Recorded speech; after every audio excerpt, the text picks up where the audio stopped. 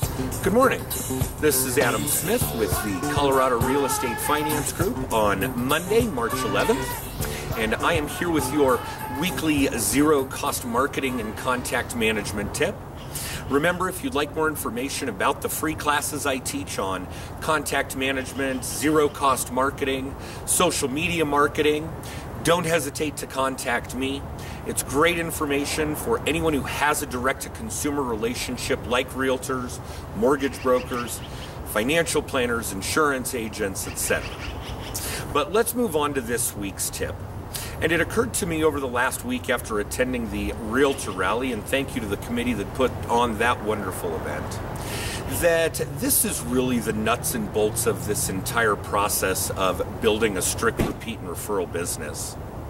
There was an individual I uh, ran into there that I had met at a previous networking event. We exchanged information. I added her to the contact database. I had been in touch with her.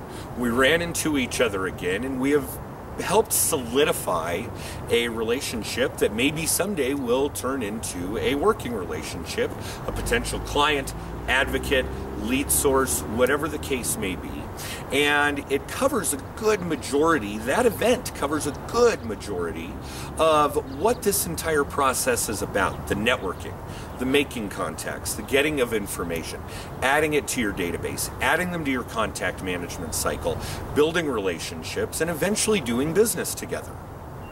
So that's this week's tip. Make sure that you're doing all of these things.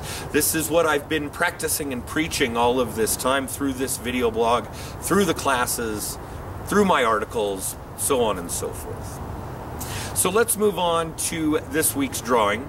And congratulations to last week's winner, Mary Jane Ogle with RE/MAX Alliance.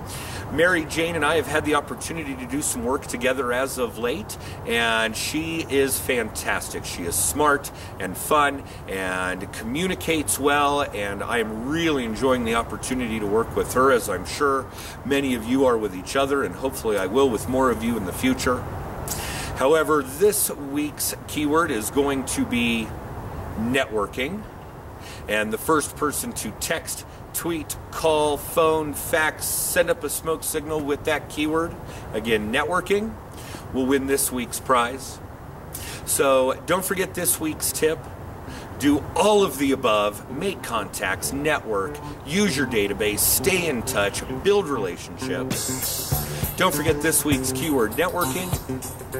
Have a wonderful week, and we'll see you next time. Bye.